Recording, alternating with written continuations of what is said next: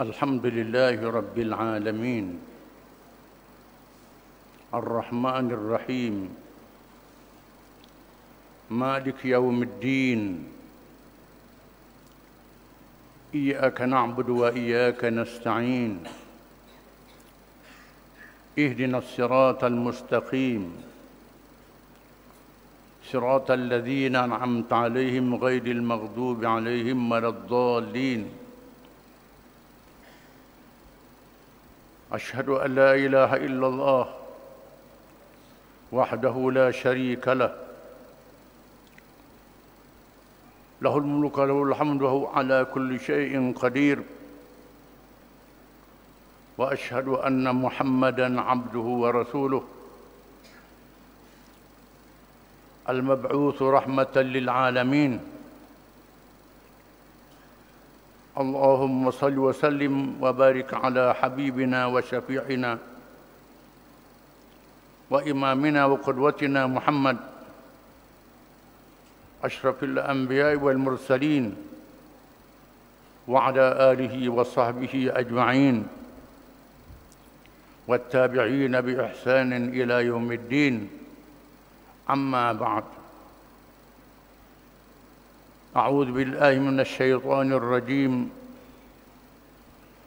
يا ايها الذين امنوا اصبروا وصابروا ورابطوا واتقوا الله لعلكم تفلحون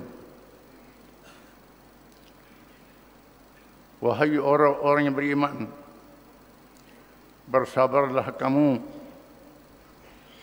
Dan bersabarlah kamu dan menghadapi ujian dalam diri kamu sendiri. Dan bersabarlah kamu dalam menghadapi musuh-musuh kamu. Dan beradalah kamu di tempat yang kamu diletakkan dan ditugaskan. Dan bertakwalah kamu kepada Allah supaya kamu mendapat kemenangan. An Aisyah an Aisyah radhiyallahu anha ummul mukminin radhiyallahu anha qalat سألت رسول الله صلى الله عليه وسلم عن الطاعون. فأخبرني أنه عذاب أنذر الله على من يشاء وأن الله جعله رحمة للمؤمنين. وما أصاب أحد بالطاعون فيمكث في بلده صابرا محتسبا ولا يعلم إلا ما كتب الله له إلا كتب الله له مثل أجر الشهيد dari Aisyah radhiyallahu anha katanya aku bertanya Rasulullah sallallahu alaihi wasallam berkenaan dengan wabak penyakit taun lalu dia memberitahu kepadaku itu yang azab Allah yang diturunkan kepada sesiapa sahaja. Dan Allah jadikannya rahmat kepada orang-orang yang beriman.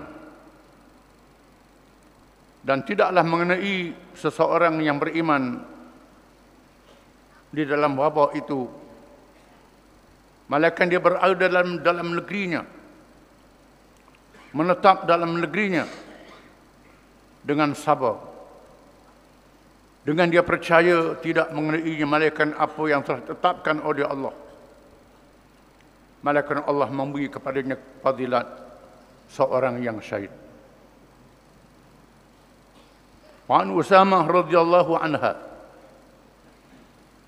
qala سمعت رسول الله صلى الله عليه وسلم يقول إذا سمعت إذا سمعتم الطاعون في بلد فلا تدخلوه. وإذا وقع في بلد وأنتم فيه فلا تخرجوا منه. Dari Usamah bin Zaid radhiyallahu anhuma katanya aku mendengar Rasulullah SAW bersabda,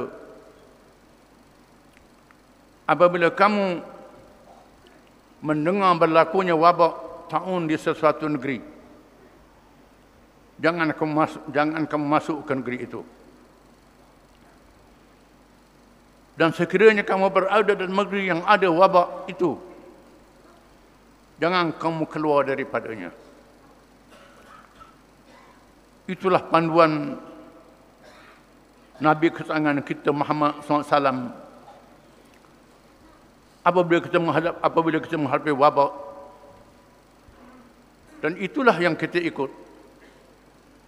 Dalam keadaan dunia yang menghadapi wabak corona yang membahayakan pada hari ini.